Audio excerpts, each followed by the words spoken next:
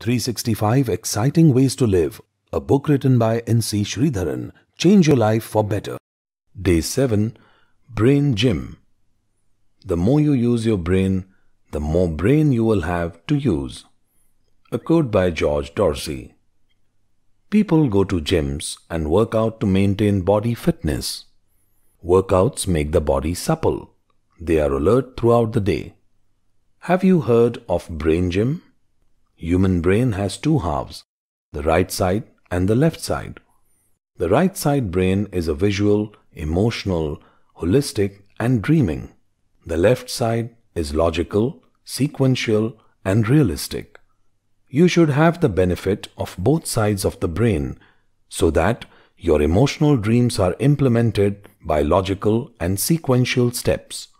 For this, you have to integrate the right and the left sides of the brain. The left side of the body is controlled by right side of the brain and vice versa. So by moving the left side of the body, you are activating the right side of the brain. Here's a brain gym exercise. Practice writing with your left hand or the right hand if you are a left-hander for 15 minutes a day. You may not notice immediate difference but will improve your total personality over a period of time. Try it from today. To buy this book, visit www.thetimefoundation.com.